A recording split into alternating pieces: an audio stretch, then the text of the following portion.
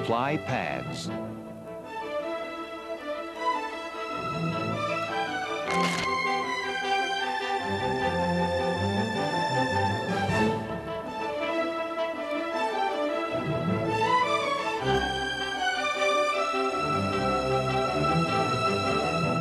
Plug-in connector.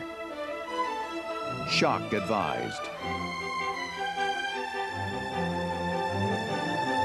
Deliver shock now. Press the orange button now. Shock delivered.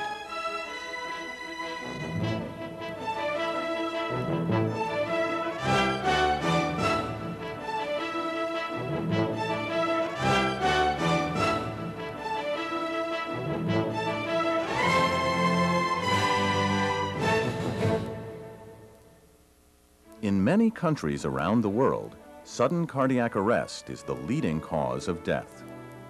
It is caused by an abnormal heart rhythm, in most cases, ventricular fibrillation. This rhythm is caused by abnormal and very fast electrical activity in the heart. During ventricular fibrillation, the heart cannot pump blood effectively. The only effective treatment is defibrillation, delivered as soon as possible. Every minute that passes from sudden cardiac arrest until defibrillation reduces the patient's chance of survival by 7 to 10 percent. Forerunner is a biphasic, semi-automatic external defibrillator, or AED. It is designed to identify and treat ventricular fibrillation and certain ventricular tachycardias, guiding you through the process with text and voice prompt instructions. In this training video, we are using a Forerunner model that displays ECG and heart rate information and has a manual override button. Your Forerunner model may not have these features.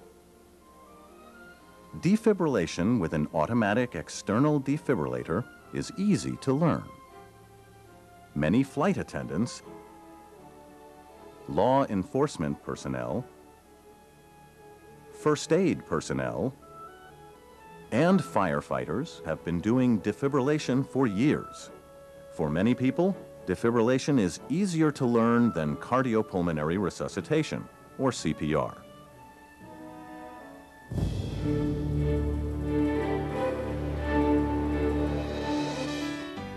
Forerunner use is indicated if your patient is unconscious, is not breathing, and has no detectable pulse.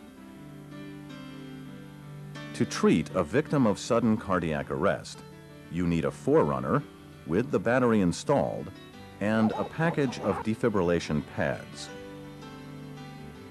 Push the on-off button. Forerunner will guide you with voice prompts and on-screen displays. Apply pads. Plug-in connector.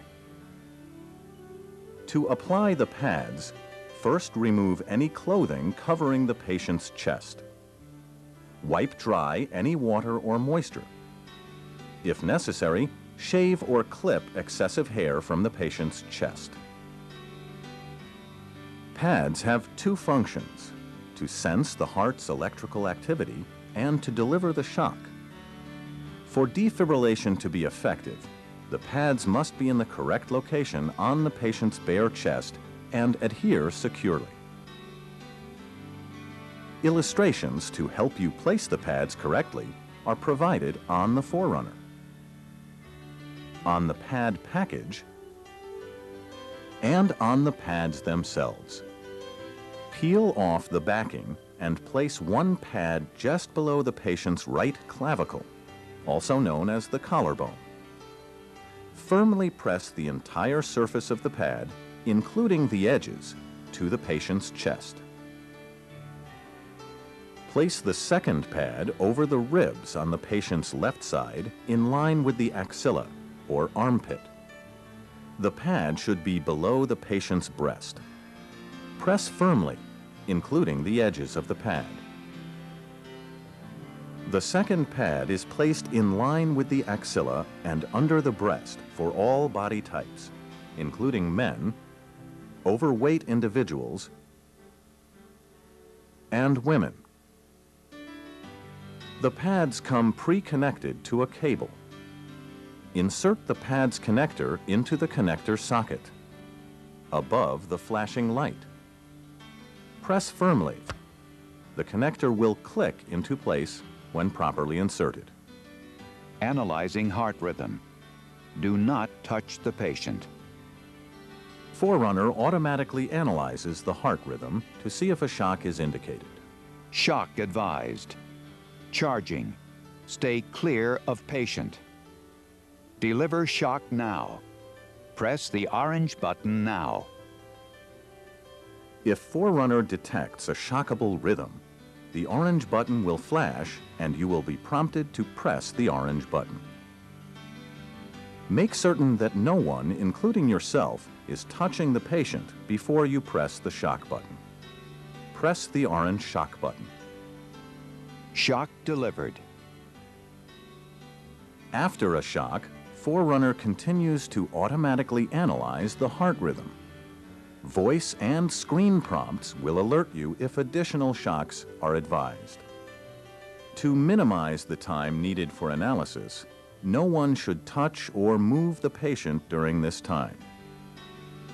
If Forerunner gives a shock advised prompt while you are transporting the patient, stop the vehicle if possible and wait 15 seconds for Forerunner to confirm its analysis.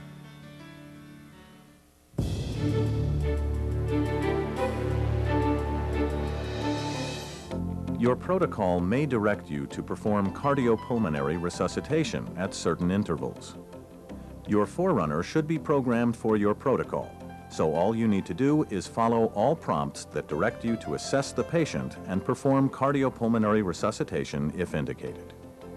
If your protocol includes a pause for cardiopulmonary resuscitation, the screen displays a bar that fills as the pause time elapses. At the completion of the pause, Forerunner will direct you to stop touching the patient and will automatically analyze the rhythm to determine if a shock is now indicated.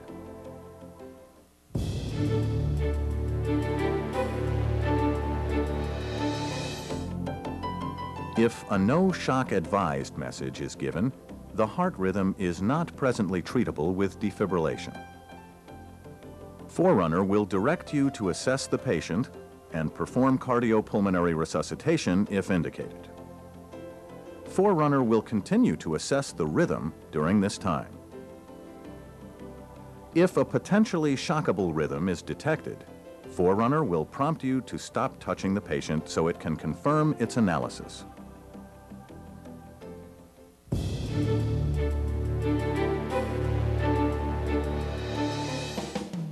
If you get a troubleshooting prompt, stay calm and follow Forerunner's instructions. For example, if you get a troubleshooting prompt that refers to the pads, Press pads firmly to patient's bare chest. make sure the pads are securely on the patient's chest. Press firmly, including all edges of the pads.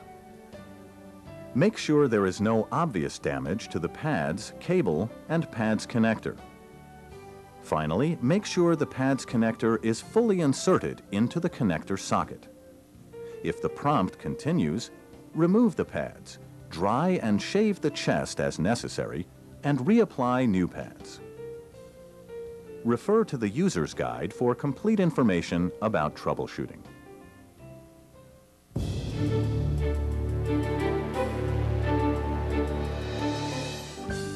You can initiate an automated, comprehensive check of the Forerunner simply by installing a battery. Perform this battery insertion test, or BIT, when you place the Forerunner in service or whenever a problem is suspected. This test checks the Forerunner's battery capacity, internal circuitry, and user-verifiable components. To initiate this test, remove and reinstall the battery. Press the battery firmly. It will click in place when properly installed. The screen will display a bar that fills as the test progresses. During the test, the screen will also flash and blink, and buttons will light up. When the test is completed, the screen displays the test results. If the Forerunner passes the test, the status indicator will display alternating dark and hourglass shapes. If not, install a new battery and do another test. If the Forerunner doesn't pass the second test, remove the Forerunner from service and contact HeartStream customer service. After the automatic portion of the test is complete, the Forerunner begins interactive tests that let you verify the correct operation of the screen, buttons, and speaker.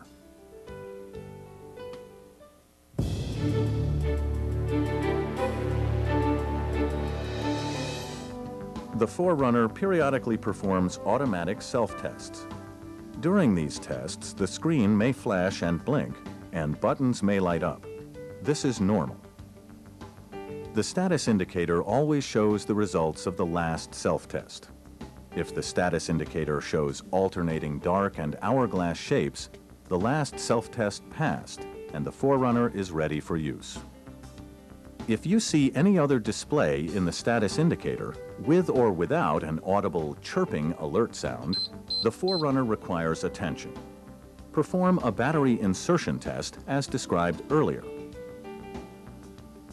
In the unlikely event that you need to use the Forerunner while it is doing a self-test, simply press the on-off button to stop the test. It will be rescheduled for a later time.